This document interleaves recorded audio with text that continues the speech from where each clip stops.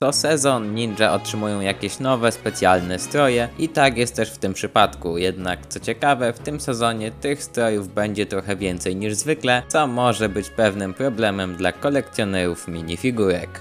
Pierwsza fala zestawów na 2024 rok została oficjalnie zaprezentowana i ninja mają tam totalnie nowe stroje. Co ciekawe, Lloyd ma dwa, bo jest jeszcze w stroju mistrza. Jednak oprócz tego, jeszcze jeden z naszych bohaterów dostaje dodatkowy strój, a mianowicie Kai. W jednym z 4-plusowych zestawów na marzec ma on strój wspinacza Kaja, który różni się od tego zwykłego i to dość znacznie. Co więcej, na opakowaniu jednego z zestawów widzimy Lloyda w takim samym stroju, co może nam sugerować, że reszta ninja również w swoim czasie takie stroje dostanie. Być może wszyscy ninja otrzymają takie stroje już na marzec, a być może dopiero na czerwiec, a jeszcze być może dopiero w przyszłym roku. Kiedy dokładnie to będzie nie wiemy, ale skoro Kai i Lloyd takie dostaną, to obstawiam, że pozostali ninja też. Jeśli tak będzie, to kolekcjonerzy będą mieli spory problem, ponieważ żeby zdobyć wszystkie stroje ninja, trzeba będzie kupić całą masę zestawów, nie licząc oczywiście tych figurek, które znajdą się w magazynach, bo na pewno część do nich trafi.